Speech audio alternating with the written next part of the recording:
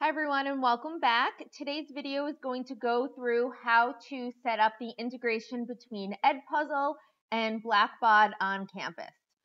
So the first thing that you're going to do once you've logged into Edpuzzle is you are going to go up here to your little settings menu and then you are going to click on your name. Now I have to stress that this is something that your Blackbaud um, administrator needs to do. This is not something that a regular teacher can do. So if you are not a Blackbaud administrator, you can just forward this video onto them. Okay, then you're going to click over here on school and you can scroll down and you can see it says here LMS LTI integration. So you're going to go ahead, click on that. I'm going to go down here to Blackbaud. Make sure you don't accidentally click on Blackboard. Then it's going to give me these codes right here. These are unique to my particular school. You'll have your own unique ones. So just kind of hold on to these. The next thing you're going to do is go up into your onCampus, log into core, and you're going to want to go into your settings and then go down to integration settings.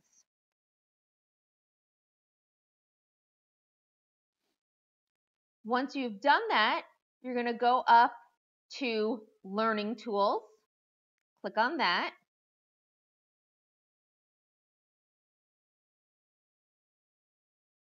And then you want to add a provider.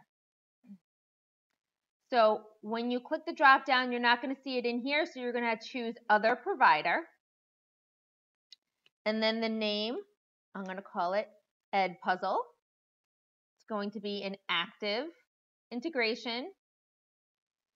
And I can kind of leave things as is. Uh, I think I should be able to, I'm going to say, I'm going to click on both of these, especially assignments because I want it to be able to return grades and bring grades back into, into things. And then I'm going to say save. Okay, now I can go back in here and edit this.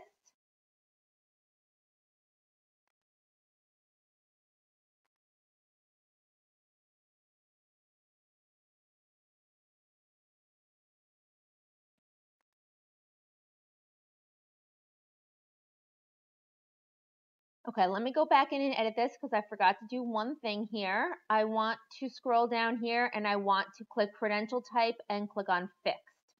So the launch URL is edpuzzle slash LTI slash assignment slash launch. I'll put that, um, let me, I'll try to put that down in the description for you so you can copy and paste it.